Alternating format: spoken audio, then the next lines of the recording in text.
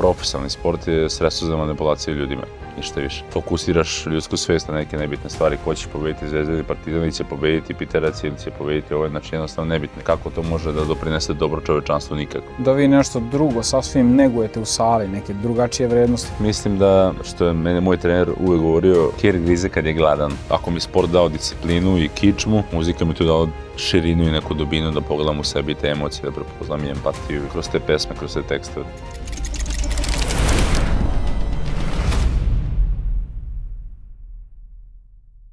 Vi gledate emisiju Kompas, ja sam Petar Vučanović, a moj današnji gost je veliki borac u ringu i van njega, desetostruki svetski šampion i trostruki evropski šampion u kickboksu i titula koja mu ja mislim najviše leži, a to je titula roditelja dvoje male divne dece.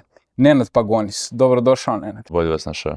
Sproveli smo anketu na ulicama grada, ja predlažem da je poslušamo i vaše mišljenje. Može. Da li pratite borilačke sportove i koje je vaše mišljenje o njima? pratim borilačke sportove, MMA mi je primarni borilački sport i mišljenje da djeca treba da se bave borilačkim sportom. Pa pratim ovaj, borilačke sportove, uglavnom sve, i imam veoma pozitivno mišljenje o njima, zato što mislim da su možda da čekim ono, najbolji sport, ako nisu najpopularniji, ali su najbolji, 100%. Pratim borilačke veštine, pretežno UFC i idoli su mi Volkanovski i Sean Strickland. Što se tiče borilačkih veština, kad sam bio mlađi trenirao sam boks i judo. Ne pratim, ali me u suštini zanima jer mislim da ima mnogo beneficije koje čovjek može da nauči. Kao prvo da očvrstne, da nauči da se brani, razvija verovatno i neko samopouzdanje kod ljudi, pogotovo kod muškaraca i voleo bi u nekom trenutku definitivno da se vratim da počne da treniram. Mene najviše boks privlači, iskreno. Evo ovako, borilačke veštine odličan su izvor pogotovo za decu gde oni mogu da kanališu te neke svoje frustracije, pogotovo u današnjem vremenu modernih tehnologija gde deca su pod velikim stresom što od društvenih mreža, što od, kako se zove, njihove integracije u socijalni život. Oni kada danas dolazi nekog drugačijeg vremena nego njihovi roditelji koji su ranije izađu u ulicu, upoznaju se sa svima oko sebe, međutim deca danas uglavnom telefon, kompjuter i to je njihova stvarnost. Borilački i deca samim tim zbog manjka fizičke aktivnosti ne budu toliko jaka da mogu samo da se odbrane od nekih problema s kojima će susreti u svom životu, gde do, borilačke veštine dolaze kao neki izvor outleta za trošnju te energije i za izgradnju samopouzdanja. Kao prvo, gde oni postaju neke formirane ličnosti i ono što nauče u e, od tih veština mogu da primene zapravo u životu. Kao borba, pogotovo boks kao jedna plemenita veština gde imate osnovna pravila koje su nikada ne udarati protivnika dok je na pojasu, kada ne može da se brani ili u potiljak, odnosno sa leđa, što se isto takođe može primeniti u životu gde vi zapravo ne trebate nikoga maltretirati, potlačiti ili gledati loše na njega. Uvijek se trebati časno obhoditi i poštovati taj neki moralni kodeks viteški koji treba da se danas primeni što više jer ga jel te ima sve manje. Što se tiče velikih šampiona, uh, na primjer Nena Pagonijskog ste vi spomenuli malo pre, jako je poštovan, ne samo kao Boris, već kao veliki pizza majstor, čime on voli da se ponosi, a njegovi, kako se zove, veliki podvizi, naravno, ostaju kao jedan veliki uzor, on je i odličan otac, ima dvoje dece koliko sam svestan, regularno ih uključuju u svoje uh, emisije i videosnimke koje kače na društvenim mrežama i da je jedan odličan primer kako bi danas trebali da se obhodite prema ovaj, mladeži. Da, i to je to. Izvolite. Vaš komentar. Pa, sve, su, sve što sam čuo je tačno. Danas je borilački sportovi koliko god delovali surovo, koliko god delovali krvoločno, UFC mislim da je najpopularniji sport na planeti, jedan od najpopularnijih sportova i da zakupio, zakupio veliku pažnju svih generacija, ali isto tako imamo taj moment gde danas tehnologija preuzela maha u našem društvu i pogotovo među omladinom gde se sa, sad sve na tač, ono, na jedan, jedan potez klik, hrana, piće, sve i da jednostavno mladi ljudi nemaju više e, volje, niti entuzijazma, niti neke želje da sad idu da tamo krvare, znoje se da bi nešto napravili u životu, nego sve im je naš pri ruci. Konformizam, a, teško. Hmm? Konformizam. Konformizam, da, sve zoni komfora, ali ovaj, opet taj sport da li MMA, da li kickbox, da li boks, šta napravi od jednog mladog čoveka, to napravi drugi sportove, ali ovo napravi još jednu dodatnu komponentu gde čovek postaje samo, samo dovoljan, razvijamo se samo kontrola, samo pouzdanje, jednostavno čovek e, što su malo pre rekli kako je boks plemenit sport, svi misle da je to naš kao, zašto se zove plemenit sport? Zato što ti kad ti protivnik, ne, prvo što se boriš sa protivnikom iste kategorije, ne može da budeš teži, ne može budeš lakši, znači može da budeš, budete tu isti, imate klase A, B, C, A klasa, gde imate, gde su približno broj mečeva i naravno kad čovek dotakne kolenima pod više, vama je zabranjeno da ga udara, znači opet jedan viteški, viteški način borbe. Tako da tu mladi ljudi dobijaju stvarno neki onako sam, samo spoznaju o tome šta su prave vrednosti, šta, šta, je, šta je bitno u tom sportu, šta je bitno u životu, jer ring je život intenziviran hiljadu puta. Znači ono što čovjek proživi za jedan dan, to proživi za tri u ringu, recimo. Tako da, kroz taj sport mladi stvarno zaista mogu da se razviju, onako i da evoluiraju. Sad, pitanje je samo koliko će to mladi ljudi poželiti da se odre, od, od, od, odreknu svega što nas nosi ta, nosi ta zona komfora. Znači karakter gradi, ličnost, Apsolutno, borilački sve, sve, sport. sve. Da. A koliko je vas, uh, pomenuli ste prave vrednosti koje ste usvojili, bolje rečeno, kroz borilački sport i kako, koliko je vas borilački sport zadržao na pravom putu u životu sa ove tačke gledišta? Pored svih životnih uh, nedaća, loših iskustava, pa i dobrih iskustava, sad sa ove tačke gledišta. Pa evo, uzmite jedan banalan primjer, vi recimo radite, pripremate se za meč, imate sparing od 12 rundi, sa njih šest, njih šest menjaju na po rundu. I sad vi ste toliko iscrpljeni, toliko ste izmoreni, toliko ste izubijani i sad vi dođete, ne znam, prolazite ulicom i neko te zakače rameno. I sad mi da mi posle 12 rundi sparinga stalo da se ja s nekim raspravim, da ne znam, nekim uđem u raspravu ili ne da bože u tuču uličnu i tako. Ja sam kažem, znaš, ti izvini, pogrešio sam, ono, samo dođem kući do kreveta, razumiješ, da sam toliko umoran. A mislim, mogu malim prstom da ga, znaš, tako da, samo taj banalni primjer koliko se čovjek isprazni na tom treningu i koliko opet za uzor dobije neki osjećaj samopouzdanja, nešto dobro uradio, nešto radio na, se, na svom telu, na svojoj ličnosti, na svojoj hrabrosti. Mislim da je, da je to u stvari ono što je mene sačuvalo od svih tih nekih uličnih problema, stran putice i tako dalje. Uvijek sam bio posvećen, sve što radim, takav sam po, po, po prirodi, sve što radim, gledam da to bude perfektno. Perfekcionista sam po prirodi i ono, kad sam ušao slučajno u taj sport, mi je ono, sasvim slučajno, kad sam me pitao da li da sparingovu, ja sam rekao, kako vi mislite, ja mogu da sparingovu moću. Međutim, oni su verovali da ja mogu, taj trener moj, Dragan Krcmanić Krca, I kad sam ušao na sparing, ja sam rekao tu sad ili pukovnik ili pokojnik, ili ćeš prebiti sve ili ćeš biti, ovaj, neću više trenirati. Ja sam prebio sve, pa sam me pitala bi da idem na meč posle mesec dana treninga, da idem kao junior, da idem na senior. Ja kažem, ako vi mislite ja mogu, ja hoću. Mislimo da može, mislim da će biti šampion. I onda se da sam radio, kao junior radio sam seniorsko prvenstvo Srbije i imao sam dva meča i u drugom meču slomim prst na nozi.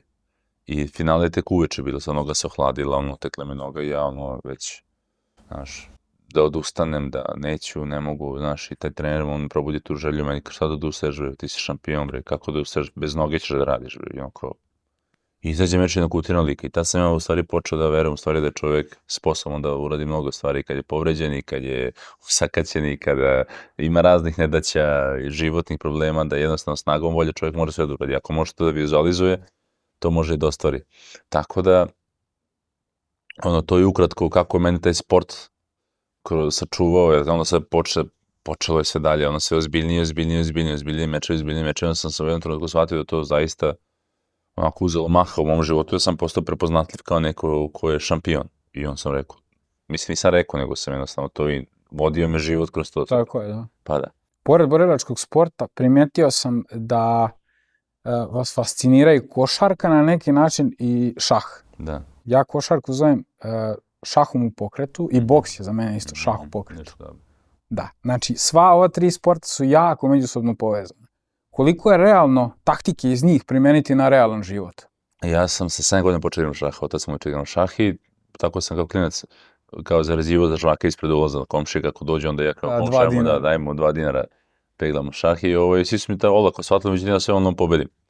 I šah mi je ostao stvarno jako velika ljubav, znaš, i, i kad sam počeo se bavim kickboksom i da, da, da, u nekom momentu kad sam se već ono kao ostvario kao borac i kad sam počeo da razmišljam o taktici pred mečeve i ne, pripremi svega toga, shvatio sam stvari da je to šah, da je to jednostavno šah ono, Pa u, je, da. u, u, u četiri, unutar četiri konopca. Šah u četiri- pokretu. Da.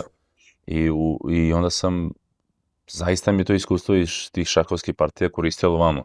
I čak i neke gde sam morao da, da, da odreagujem onako instinktivno i da, da improvizujem kada se nije pokazala taktika dobra, ta improvizacija mi opet, šah mi je pomogao da, ovaj, da mogu da improvizujem kad neki pogrešan podsao uradiš, pa onda na drugoj strani nešto izvučeš, što vratiš pi, figuru, znaš, mislim, u tom smislu da sam jednostavno tako ono pripremao taktiku u tom momentu da sam pobeđivao te meče.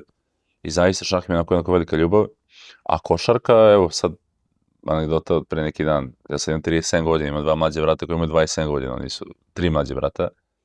Ovo je 28, ovo je dvoj, tetke su mi braća i ova dvojica su po 27 godina i sad idemo ja i Hajka, idemo u šetnju, u 11 uveč, u 11 uveč počne kiša da pada i mi šetamo kejom i tamo negde ko žažeo most ima jedan teren za košarku i neki lik ubacuje ovaj, loptu Da, sam vidio po kiši, sam, po vidio kiši. sam pre neko večer Da, da, da, da, po kiši. I ja kažem, hoćemo da igramo, pa da je, brate, šta je, kažem, aj bre, babe, na 27 godina, 37 godina. Ja kažem, ovak može jedna partija 2 na 2, ajmo. I do 21 smo odigrali, ja sam najviše trčao gurao se, znaš, on kidao.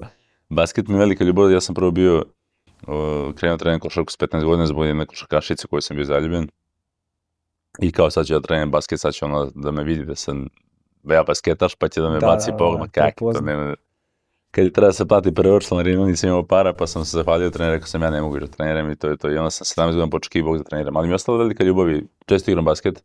Zadnji put sam onako do, do, do 2012 sam igrao ozbiljno, preko leta sam igrao basket, 2012 mi se desila povreda, su mi pukli uh, distorziju trećeg stepena, ligamenti na sločnom zlobu, dva mesa pred odlaskom prvenstva u, u Turskoj. I onda sam odlučio da boksujem i do dve nelje pred polazak na put sam tek skinuo longetu.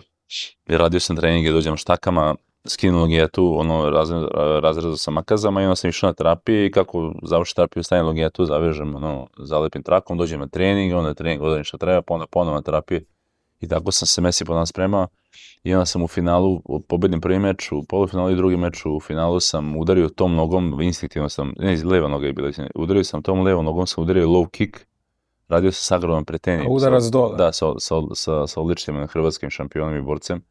Radio sam tri puta meč s njim i to je prvi, prvi put da smo sastali. I udarim ga, ovaj, onako ma, instinktivno tom nogom, nisam čuvao sam tu nogu celo vreme i samo sam ako nešto, bila kombinacija, ja sam udario tom nogom, a on je digao blok i udarim ga tačno ovim delom, ga udarim tu najtvrđi deo pod kolenice.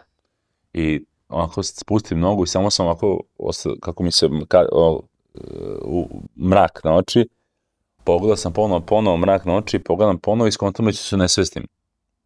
I samo gledam, ne smiješ, ne smiješ mu nastaviš meč, to je bilo dve, tri sekunde tako trajalo. I on je nešto napad, ja sam tu izvuko i kad sam ga uhvatio u klinč da malo odmorim, ja osetim da sam, ovaj, da sam se, da izvinite, upiškio od bola. Da. I ne znam, ja tu pobedim meč, posle, to je bila treća runda, ja pobedim ovaj, meč i sad dolazim do ugla i sad visimo i kao slave, to ja kažem, bešite u piškio sam se, bešite ne moram u WC. I onda sam cijel dan posle toga imao dijareju neku i onda sam otišao kod lekara i shvatio sam lekara, ja kažem lekaru šta se desilo, kažem pa ti si ono bukvalno trebao da se ne svestiš, ali si izdržao taj meč, jednostavno si nastavio, ne znam kako, i onda se organizam ti reagovao.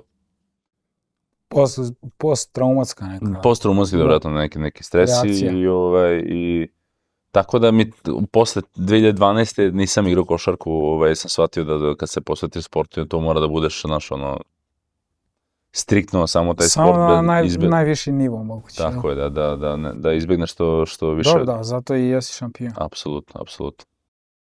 Dotakli smo se termina šampion. E, pomenuo si malo čas, to jest ono prvo pitanje kad je bilo da mladi žive u, u konformizmu, sve im je dostupno, neće da se pomuč, pomuče ni oko čega faktički danas. Da li samo takva, takva vremena i takvi uslovi rađaju prave šampione? Pa... Živimo zaj, u zaista jednom tranzitnom vremenu. Mislim da će se ili desiti smak sveta ili će desiti neki evolutivni skok da je, znaš, jednostavno ako više ne može. Jer Ovo je sve gore i gore, znaš. Stara izreka ga, kaže, jak, ja, teška vremena prave jake ljude. Jaki ljudi prave dobro vremena, dobro vremena prave slabe ljude. E ti slabi ljudi prave loše vremena. Sad ja mislim da je to upravo vreme gde slabi ljudi sad kreiraju vreme kako će doći. Vi danas imate sve nešto cyber, sve nešto, znaš, online, sve nešto, svi su hrabri nekim komentarima iza tastature, znaš, niko ne sme da ti kaže nešto u oči, znaš, nema više te te alfa, alfa dominantne muške energije, nema to više, znaš, žen, mislim, ne pričam sad o ženskim, ali e, što se tiče kao sad pravljanja nekog šampiona i borca, jako je malo ljudi koji hoće da izađu iz te zone, zone komfora, jako malo momaka, devojaka koji hoće da se trude, koji hoće da, jer danas je doslovno sve dos, poslao dostupno i zaista danas ti možeš da instant da zaradiš nekim glupostima, znaš. I to nije prisutno samo uh, u sportu, u borilačkim sportovima, nego u svak, svakoj A u sferi svakom, života. naravno, mislim, borilački sport je najteži sport koji postoji. To ja kažem, u svakom svom intervju, to nije sport, to je moderno gladijatorstvo. Vi ste imali pre 2000 godina u starom Rimu Koloseum gde su se gladijatori ubijali. I bili izuzetno plaćeni kao danas, na primjer, neki. I poštovani, i UFC poštovani, borci, tako, i poštovani na su bili. primjer, da. Izraela, Desanja, ili tako neki sa milionskim ugovorom. Apsolutno, apsolutno. Baš, Tako sam, da, baš sam gledao to, na primjer, neki gladijator je bio plaćen više nego Leo Messi danas. da, da, da, da, primjer. da, da, To da, je baš da, nešto da, ne. da. Ali, e, poenta priča sada ne mora da ne, da ne uzimamo borilački sport za primjer, nego da uzimamo košarku. Ti opet treba trening, to je opet vreme, to je opet ono odricanje, ti umesto da ideš s drugarima da, da roštiljaš ili da izlaziš, ti moraš da treniraš, ti moraš da spavaš, ti moraš da se zdravo hraniš, ti moraš da igraš utakmice, znaš, jednostavno, jako je to puno odricanja, a opet mislim da što je mene moj trener uvek govorio, e, kjer grize kad je gladan. U stvari znači da kad si željan svega i kad nemaš puno mogućnosti, kad si gladan, ne, tad ćeš da daš sve od sebe da bi, ja kad sam prestao da budem gladan, tad sam prestao da se borim. Kad sam zaradio pare. Jer nemaš više tu želje, nemaš više tu iskre. Znači ti si ušao tu komfort zonu. Tako, i- ušli si komfort zonu i to je to, ali ja sam 15 godina bio van zone komfora. Da. Tako da danas deca, ima danas deca koje su gladne, ima danas deca koje žele, de, desi se tu neki šampion u najavi i, i neki šampion koji, koji, koji je ono, koji je na, tek na, na, na, početku svoje karijere već je šampion postao, ali je sve ređe ređe, znači, ne znam, ja ranije kad se borio 2000, ne znam, sad uzemo četvrtu, petu, šestu, sedmu, 2008, 2009, 2010, to neki tim državni prvenstvima mi se desilo da je u mojoj kategoriji bilo po 12-13 boraca, znaš. To je sad selekcija ti da prvenstvo država klase bude ti, znaš, ni 14.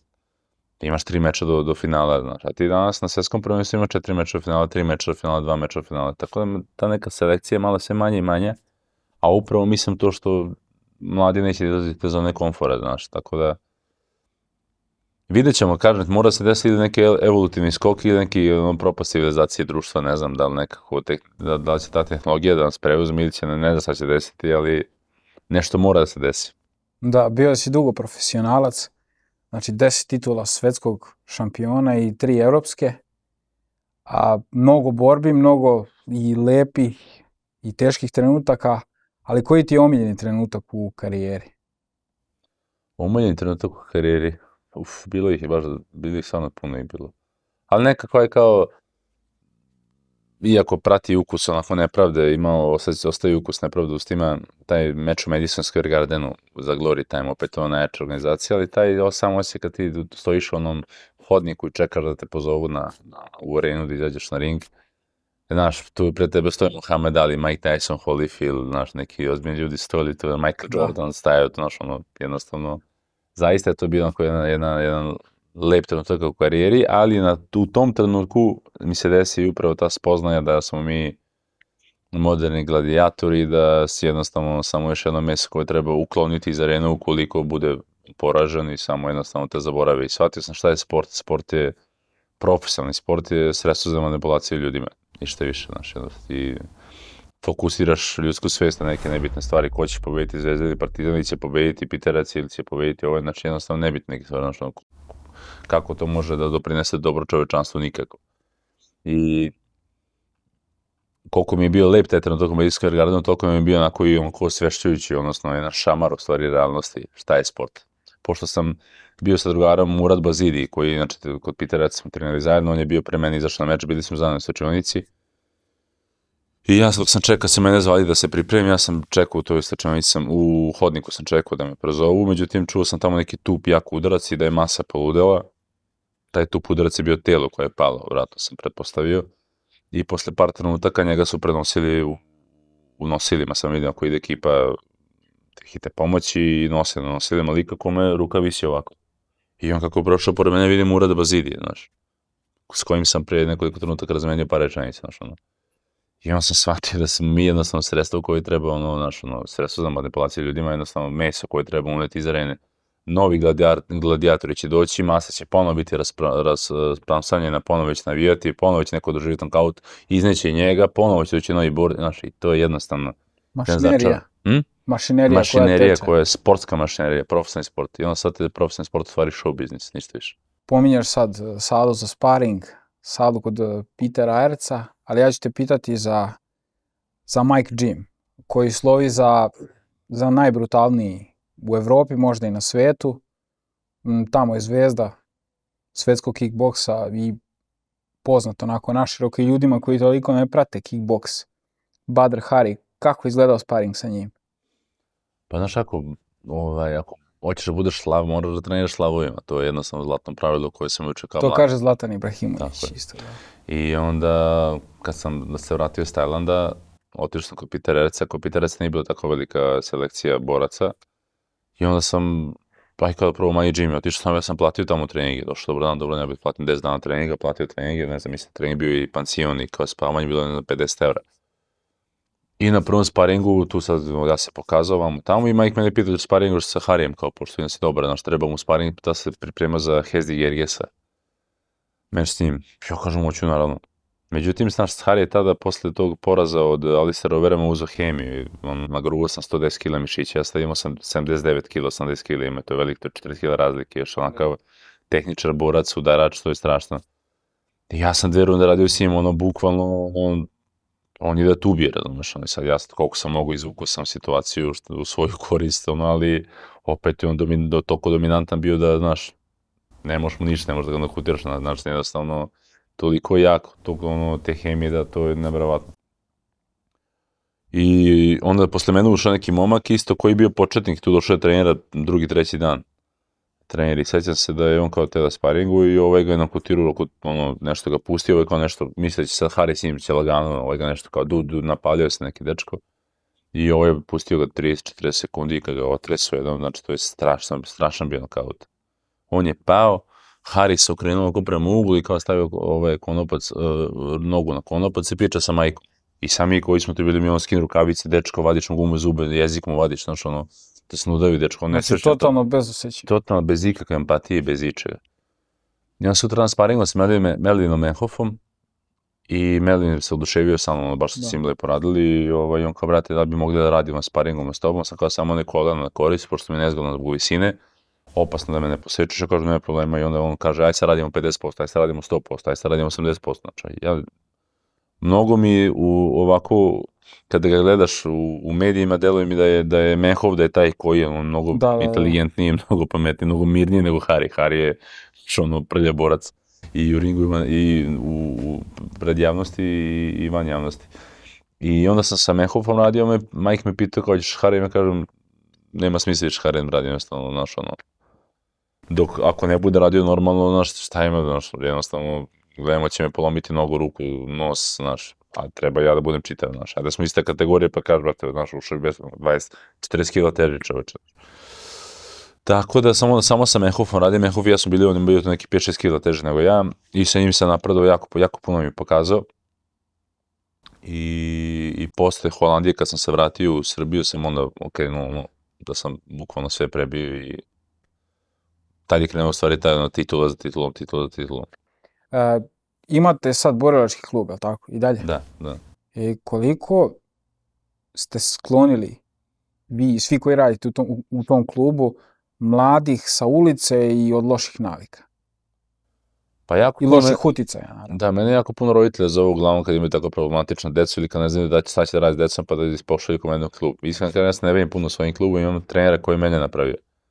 Krca i on vodi taj klub, ja tamo se pojem čisto malo popričam na decom, malo pedagoški, vidim ih, obizim, pokažem neki potez. kad- Dobro, i to je bitno. Znaš, ali mislim da mnogo više doprinosim ja kao neki pedagog nego kao neki trener, znaš, jer to, taj trenerski posao moraš da voliš, da bi se Krca to voli, on je u tom ima za- zaista dobrih trenera kod nas u, Srbiji, koji to vole, žive to, ja sam živio život borca i sad, znaš, malo mi to sad opet gledam što više da se sklanjam od tog ringa i od tog nasilja i svega toga, ali opet na treningu volim da popričam sa, sa, sa momcima, sa dečacima, sa devojčicama kad mi dođe potraži neki savjet, pa pogotovo ti momci koji su tako tinejdžeri, 15-16 godina, hoće li da bude navijač ili neće da bude navijač, znaš, hoće da se došao da upiše kickboks, da, da se pokaže na ulici, on shvati da to, znaš, nije za ulicu, to je za ring i to da je vi to. nešto drugo sasvim negujete u sali, neke drugačije vrednosti. Apsolutno, da. I Da. onda ovaj, neki odu, da se ne pronalaze tu, oni odu sami, a ovi koji dođu i koji se pronađu, pronađu neku novu svrhu nego što su, nego što su bili kad su došli, s kojom svrhom su došli i onda s njima može se radi. Tako da, dosta ima, dosta ima mladi koji treniraju, ali opet mislim da to od tih 100 momaka koji tamo treniraju, da nekad je bilo 40 njih koji će biti neki borci, a od tih 40 možda će postati troje šampioni, a od ovih 100 momaka koji sad dođu da treniraju, ako ih 10 hoćete ih da se bori, to je, znaš, budi srećan. Da opet dogovorimo ta zona komfora. Rekao ko će više da izađe iz nje. Pričao si u više navrata o, o depresiji, o depresivnoj epizodi, tačnije, koja ti se dogodila nakon jednog meča. Kako borac zapadne u, u takve situacije? Pa dešava se čak, ne samo borac, nego vrhunski sportisti. A, gledao sam neki dokumentarac gde Jan Torp, čuveni australijski plivač, šeta izgubljen ulicama Melbourne. Kolike, kolike to posledice stvarno profesionalni sport ostavlja? Da, da sportisti upadaju u te epizode, pa čak i u duboke, duboke depresije. Pa vidi, znaš kako, sad mislim da čovek, svaki čovek je izložen opasnosti da upadne u depresiju. Nema to veze sa sportom, nema to veze sa čime se bavite. Jednostavno mislim da ima veze sa evolucijom svesti, koliko čovjek svesno evoluira i koliko čovjek radi na sebi i koliko je pronašao svoju svrhu. E sad, imate vi e, profesionalne sportiste koji su, cilj koji se vi postavili da oni kao nešto naprave, ako to ne naprave, onda izgube totalno neki smisao, znaš, u misli da, da, im je, da im je smisao života uh, uspeh u sportu. I onda kad dostignu uspeh u sportu, ili ako ga ne dostignu, dosta depresije, ili ako ga dostignu, pa vidi da to nije smisao, onda opet padnu u depresiju jednostavno. I ja sam, ne znam, Razočaran. imao sam neki cilj u sportu, nisam ga ostvorio, izgubio, izgubio sam taj meč nekom silom prilika i to je meni bilo okidač za depresiju. E sad, onda tu nađeš neku unutrašnju snagu, nađeš neki motiv, nađeš neko, pustiš neko vreme da se desi, radiš sa sebi, sad gledaš u sebe, analiziraš sebe jednostavno i onda e, kad nađeš tu neku razlog zbog čega se vratiš, kad opet kad opet uđeš u ring, onda jednostavno malo razmišljaš, onda shvatiš da, znaš, malo, sam ja, recimo u mojoj, mojoj situaciji bio sam malo opušteniji u dalju karijeri, znaš, shvatio da to nije smisao života, nije smisao sada da si ti u svojoj gloriji, da postaneš gloriji šampion i da postaneš showtime šampion, ne, ne, čoče, ima, znaš, smisao je mnogo, mnogo, Dublji. mnogo dublji i mnogo veći i onda malo je čovjek opušteniji, ali jako puno treba vremena da čovjeku da izađe iz te krize. Mislim da je gora depresija kad se završe karijere i kad se ljudi pitaju šta dalje. Znaš, koja mi svrha dalje. Kao završio sportom, ne znam ništa da radim, Pa to, Ceo tako život da mislim sam da, uložio mislim da je to Jan Torp, da. što si pomenuo Jan Torpa možda u, toj, u tom periodu, ali opet, znaš ako, to je onda rad na sebi, znaš, čovjek jednostavno mora da pogleda u sebe i da otkrije šta je dalji smisao, znaš, ima li si smisao, da je- ima li si svrhu dovoljno dela svog života, idemo sad da vidimo šta je dalji smisao, da ćeš da budeš trener, da ćeš da budeš motivacijan govornik, da ćeš da, bud, da inspirišeš ljude, da inspirišeš decu, znači. Meni kad sam završio karijeru isto tako bilo malo, znaš, pogotovo što sam završio sporazum, ovaj, kad mi se izgradio sport, zbog menadžera, zbog tih nameštaljki i tako tih gluposti. Isto sam bio tako neko malo depresijici, znaš, šta sad dalje, šta i dalje sam ja tu, šta dalje, ali opet znam da to što sam ja radio 15 godina je neko dete inspirisao da postane šampion. Ne, ne neko, nego mnogo dece inspirisao da postane šampion. Moj lik i delo je sad. Ovaj, pronašao sam se trenutno u tom pedagoškom radu s decom da jednostavno praviš ljude, znaš, od, od, od, od tineđera napraviš Što čoveka, najbitnije. napraviš sa sistemom vrijednosti, sa, znaš, jer opet ostavljamo u amanet ono što će da, vreme u kojem će da rastati moje deca. Znaš, jednostavno, tako da, koliko god su ti sitni koraci bili, sad da li to se napravi jednog čoveka od njih hiljadu, taj jedan će napraviti još jednog, taj jedan će napraviti još troje, četvore, peto, šesto, znaš, jednostavno neko će od njih postati neki ultra mega poznati sportista, pa će on napraviti sijase dobrih ljudi Da, i opet sejemo biljku, dobro seme za neku buduće generacije, seme, znaš, da. tako da, eto, to je to, znaš, ali teška je, teška je depresija i moj savjet je jednostavno da ljudi koji upadnu u depresiju, da li sportsku, da li, da li ljudi koji su bavi normalnim poslovima, jednostavno samo čovjek treba da, da prihvati to stanje, da ne analizira previše, jer je um taj koji pravi problem, ali ti umom ne možeš tu naći rješenje kad je on taj koji pravi. Kao da policajac koji je pali kuće pokušava upali sam sebe, znaš, da, da uhvati sam sebe, ne može jednostavno. I onda treba samo prihvatiti tu situaciju i da vidiš šta će život ti donese, znaš. Ne treba sad da sad iskršni ruku, ne, ne, treba prihvatiti, ok, tako sad trebamo se nalazim u tom stanju, ajde da vidim šta će život da mi donese, radit ću šta mogu da uradim, meditirat ću, ići ću u manastir, bolit ću se, znaš, jednostavno prihvatiš se stvari i na život uvijek nađe nekako put da ponovo, kao biljka kad zasadiš, znaš, ne znam koliko god, ne znam da si vidio u stenama kada izraste, ne znam kako drvo, znaš, na, sa ovako pečatom zemlje, jasno, život uvijek nađe put da evoluira, tako mislim da i naša duša, koliko god je čovjek u depresiji u nekim teškim trenucima, uvijek se nađe neki novi smisao. Vi imate grčke korene, a Grci su poznati po muzikalnosti. I da li je genetika jedan od razloga te ljubavi prema muzici? Ne znam da li genetika, ali je neka igra slučajnosti, ja sam sa 15 godina upoznao, upoznao se sa rock'n'rollom i meni je rock'n'roll postao ljubav, bilo ljubavno prvi pogled i postao i ostao ideja vodilja u životu i ako mi sport dao disciplinu i kičmu, muzika mi tu dala širinu i neku dubinu da pogledam u sebi te emocije, da prepoznam i empatiju i, i kroz te pesme, kroz te tekstove, tako da muzika je moja jedna najveća ljubav, najveća ljubav možda, veća od kickboksa sigurno, i, i dan danas sam vjeran toj ljubavi, dan danas uzmem gitaru kod sebe kući, odsviram i što sa bendom, što na festivalima, što na koncertima.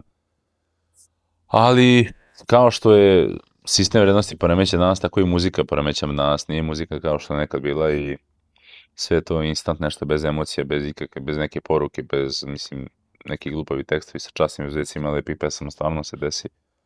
Ali sve komercijalnije, komercijalnija muzika, nema više te Da, ljubavi. 80. Da. 90. Da, ja sam neki to, to je zlatni 90. period, poslednje da, kao neke godine koji se muzika stvara na iz ljubavi. tako je. Ovo sve posle je poslalo samo mašina za pravljanje para. A iskustvo u, u jednom šovu, ono, tvoje lice zvuči poznato.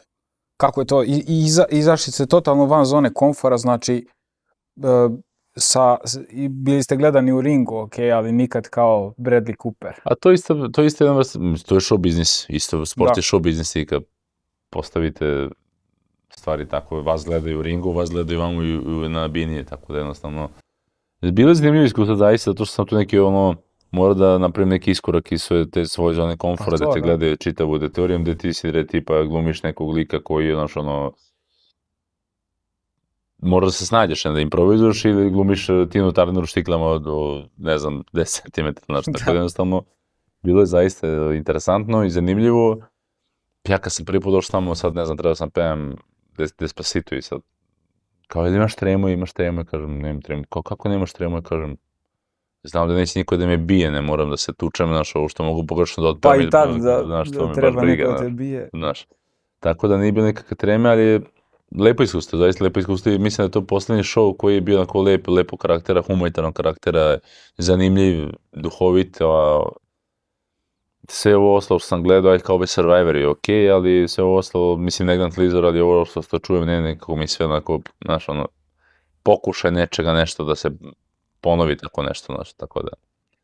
I drago mi da sam učestvovao dve sezone, zaista je bilo lepo iskustvo. Ističeš porodicu kao veoma bitan faktor u svom životu. Koliko je, koliko je porodica bitan faktor u životu jedne vrhunske atlete? Pa mislim da je jako bitan. Znaš, podrška koja, da li to mama, tata, brat, sestra, žena, deca, mislim da je jako bitan i to je neka baza koju čovjek ima i da osjeća neku sigurnost. Znaš, a ta sigurnost je nama, pogotovo borcima, potrebna da posle celog dana kad dođeš ti iskasapljen, izubijan,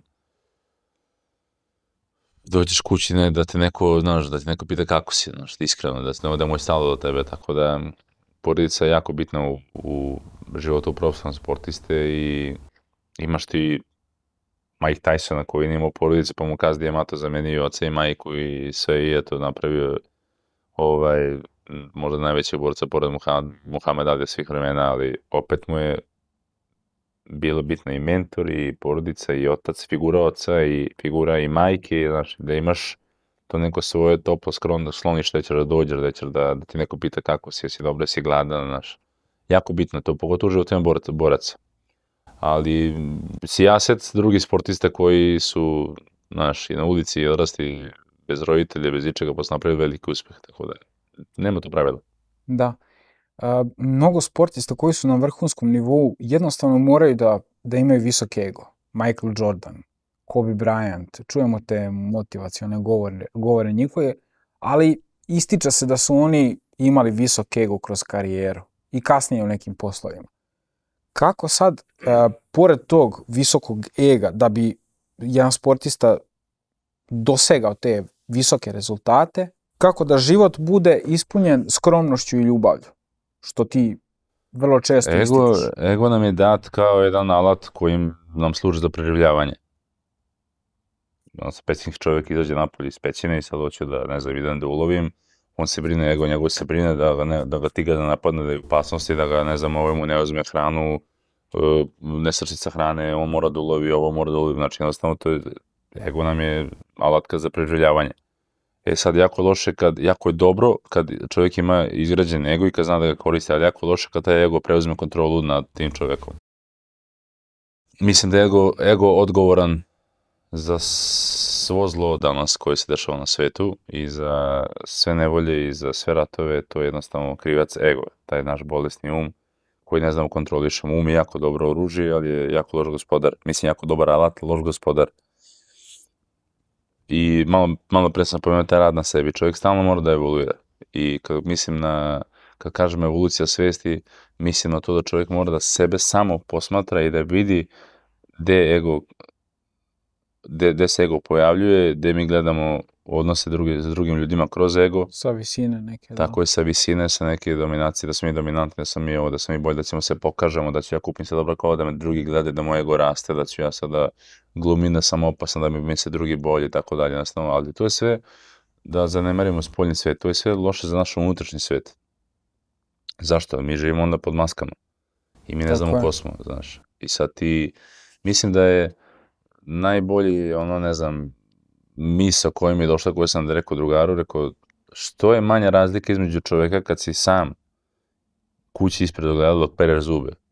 Znači, ponašanje tog čoveka ispred ogledala sam u svojoj kući i ovog čoveka u javnosti, da li sa devojkom, da li sa drugarima, da li sa nekom bitnom ličnošću, da li sa nekom bitnom mestu, što je manja razlika u ponašanju te dve osobe. Mislim, te dve persone, Jasno, da. to je čovjek uspešniji. Jer mi imamo, to, to ne sad ne znam ti neki lju- ljudi koji, ne znam, glume tako, znaš, opasni i ovo, ono. Ne znam kako, znaš, da li on to glumi kući kad je sam u krevetu, on to isto tako bude opasan, bust- budi susto, ili opušteniji malo, rel- relaksaniji. Mislim da je dosta opušteniji kući sam sa sobom, pa onda kad izlazimo napolje stavimo to masku, kao, znaš, idemo, znaš. Tako da što je manja taj, ta razlika između te osobe, čovjek je bliži sebi. I upravo rad na sebi nas dovodi do toga da spoznamo šta je ego, šta mi, šta mi e, radimo pogrešno prema drugim ljudima. Recimo imate priču, ne znam, ono d- o dva, to je knjiga samo sadašnja trenutka je Kartol, koju preporučujem svima, ja sam knjigu prošle 20 godina, evo sad je ponovo čitam deseti put, je čitam i svake godine pročitam po jedan, po dva puta, svaki put mi nešto drugo progovori. I kaže, imate dve, gledaju u parku dve patke koje su se potukle. I sad patci su se potukli, zakrtili, trajali neki 10-15 sekundi, okrenuli svako na svoju stranu, raširili ra, naš patke, ono, kada guske, Da, da. ra, ra, razmatale se krilima i nastavili da pasu travu svako znaš, na svoj put, i, znaš. I onda jednom pomisle, sad zamisli da stavite ljudski um, odnosno ego, znaš, um je zamena za ego, ovaj, da, da stavite ljudski um u, u svaku tu patku. Onda bi on rekao, aha, o, udario me ispod pojasa ili ne znam, e, kako je mogu to da mi uradi, ja sam mu sve dao, onda bi drugo, šta je on uradio, znaš, jednostavno tu ne bi bilo kraja, shvatate, znači jednostavno to bi, Da. a ovako se oni taj višak negativne energije patka od se krilima i znaš, jednostavno našo, ne, nema, nema je ega, to. nema, isprazni, nema ega, nema ko da taj glas u našoj glavi da soli, znaš, ne sad da, da zabiberi. I jednostavno to je što ono što je što je jedan najbolji primjer kako danas um funkcioniše. Ti sad prvo hodaš u ulicu, neko te zakače ramen, ti kao šta je bilo, kao šta je bilo bre, ovo ono tu. Onda nastaviš dalje, šta je bre mene zakače ramenom bre, ko je on bre mene zakače ramen, pa sad ću da se vratim ja pa najveći problem stvari je taj ego, to je taj glas u našoj glavi, taj um. I što kažu, mi kad vidimo čoveka na ulici koji priča sam sa mi kažemo lud čovek. Tako je. On je za neku budućnu bolest. Uglavnom, da. A mi svi to isto radimo, samo što ne radimo naglas. Zapitajte se, pokušajte sebe da, e, da, da, da, da samo da samo posmatrate, kažem, samo posmatranje, to je jedna vežba, da samo posmatrate šta se dešava trenutno unutra mene, šta glas u mojoj glavi priča. I nikad nismo ovde u sanašnjem trenutku, nego sam uvijek neka projekcija ili u budućnost, e, treba jedan kapo, i treba da po ovo, treba ovo, treba ono, ili sam u prošlosti, ja žalim zašto nisam u naš, nikad nismo sada, to je jedini sadašnji trenutak što imamo stvarno, jedino to što imamo sada je stvarno, pipljivo. Sve ovo ostalo je fikcija uma. I ego je upravo taj koji živi u tome, znaš, prošlosti, u budućnosti ili prošlosti. I tu se kreće. I zato mislim da je preuzeo jako veliku kontrolu od nama, nad čitavim čovečanstvom i da je čovečanstvo jednostavno obodalo od tog egoizma. Zato sam rekao na početku, ne znam kuda se ovo vodi, vidjet ćemo, ali mislim da ne je dobrim putem. Mislim sve je kako treba da bude, ali ne sluti me na dobro. Da će desiti neki treći grad, neću da prognoziram negativno, ali vidite da sad imate i na u Ukrajini, i u Americi, u Teksasu, i vamo, i tamo, i Palestina, mislim, dešava se toliko loše stvari da to je neverovatno. A sve je to jedin krivac ego. Imate i pizzerije u Novom Sadu. Prodao sam pizzeriju, Bogu hvala. Imao sam najbolju picu u Novom Sadu i ovaj, to su zaista onako otvorio na Ali picu. ljubav prema pici nije Iz nešto... hobija, da, da, iz Da. hobija sam otvorio, međutim shvatio sam da je u Srbiji ugostiteljstvo jako težak posao i sa radnicima, pogotovo, znaš, tebi dođe radnik, ti mu daš sve, on ti dođe za, gej, kaj ja idem sutra na sezonu. Ti ideš bre čoč, mislim pravi Ide u pice. Hrvatsku. Pa ko ti znaš da praviš ono, pice, pravi pice, moram na sezonu, znaš, i ostaviti tako bukvalno ono celo leto da kuburiš. I onda sad kad sam ja sve to poslagao na svoje mesto, kad sam stekli uslovi da se prodaje, ja sam to prodao, ja sam nisam želeo stresa. Ja sam takav čovjek da koji će preživjeti sa 100 evra mirno, nego sa 10.000 da, da imam nemir. Znaš, sa 10.000 da živim i da imam nemir, da budem rob svog posla, ne, ja ću sa 100 evra da živim, Jeste. ovaj, da mogu da ujutra popim kaficu. eto, A šteta, šteta, baš se izdvajala pizzerija u ukusom od... To jest Jeste, pizza se izdvajala Ne, to ukusom je od napolitanska pizza, imate vi danas isto tih pizzerija tipa Majster Margarita u Beogradu, gde Da, ali u poslednje vreme, nije bilo Da. pre par godina. bilo je sad u za posljednje vreme da, da samo Da. se otvorio u Ekspanzija. Beogradu čujem se otvorio 50 pizzerija napolitanske pice, Da. ali nemamo još tu kulturi pice. Mi danas, ovaj, ja sam to počeo kući da pravim i meni je to bilo ono umetnost, da, da naučim to da bacam testo i da napravim što bolju picu, što bolju strukturu testa, što bolju pelat i tako dalje.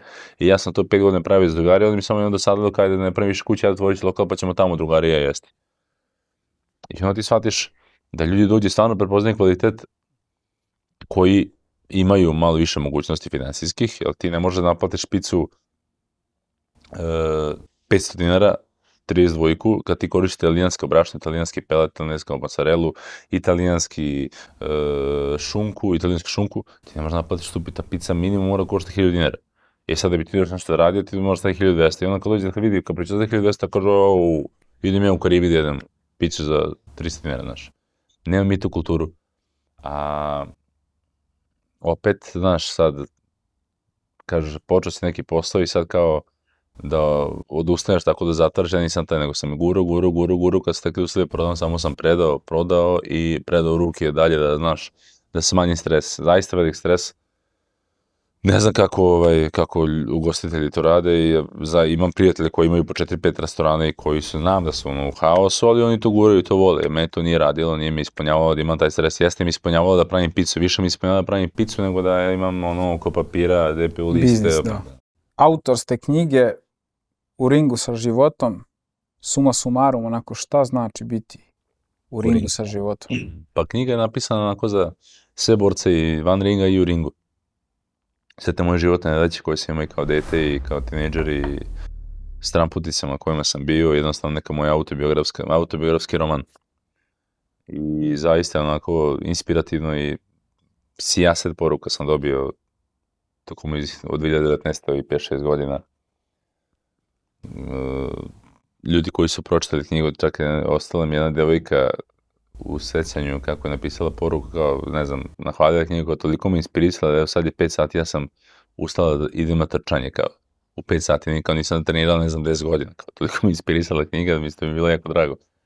Jako je dobra za ljudi koji se traže, koji traže neki izlazi iz nekih svojih životnih situacija, ali jednostavno životne situacije u kojima sam ja bio su zaista onako teške i smrt oca i razvod i, i neki egz, egzistencijalni problemi karijerni problemi jednostavno to sam sve onako izbacio iz sebe i dosta sam mi dugo i pisao, godinu pa danas sam upisao i znaš šta sad treba evocirati neke uspomene iz letinstva loše za koji, se, za koji te vidio samo neki bolno sećanje, neke bolne emocije, znaš, to je napisati, izbaciti to iz sebe zaista i proplako sam onako dosta i Ali mislim da knjiga uradila svoje, znaš, i da tek radi svoje, znaš, jako puno, delo, jako puno omladine čita i, i javljaju mi se ono, iz svih delova sveta, poručuju posle tri dana sa čitanja, bukvalno jako se brzo čita i zahvaljuju mi se na inspiraciji, na motivaciji, tako da, znaš, To je bitno, to je i cilj. ja, to, to je bio Da. cilj knjige, tako da sad to da je zaradnje pare od knjige, to uopšte ni, ni, ono, je, da. ni pomisla bila neka, nego samo jednostavno da je to da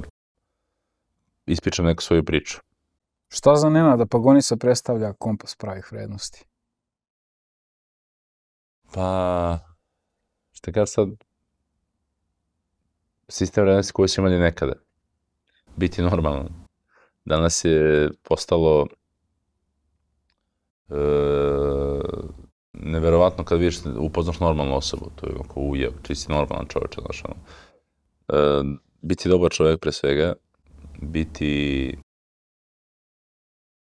po meni empatičan, znači ne može da prođeš pored nekog ko se ne znam, na ulici leži, da ga, znaš, ne, ne pitaš jeste u redu, je sve dobro, šta ste, jednostavno. A došli smo od tog dela do tog takvog stadijuma čovječanstva da jednostavno ljudi prolaze pored, čovjek leže dole, umire, oni prolaze, znaš, uopšte ne, neće da se bakći s njim, neće, neće da ulazi u neprijatne situacije. Malo više empatije prema ljudima, malo više ljubavi, da. kulture, obrazovanja. Danas nam je najviše od svega nedostaje kulture i obrazovanje. I mislim da snaga i napredak jednog naroda zavisi od njegove kulture i obrazovanja. E sad, to obrazovanje ide u neke akademske granica i to je okej, ali isto tako mislim na, na Neformalno obrazovanje. duhovno obrazovanje. To, Duhovno da. obrazovanje. Isto i to je jedna komponenta koja je jako bitna. Znači fizičko, telo, intelekt i duhovno, ovaj, duhovan rad na sebi je recept za neki uspešan zdrav život. Hvala ti Nenade što si bio naš gost. Bila mi čast. da Hvala i vama na pozivu i na lepim pitanjima. Hvala i vama, naši dragi gledalci, što ste gledali novu emisiju podcasta Kompas. A, lajkujte nas na društvenim mrežama i delite naš sadržaj. Takođe, ispratite i naš rad na portalu kompasinfo.rs, a mi ćemo potragu za kompasom pravih vrednosti nastaviti u idućim emisijama.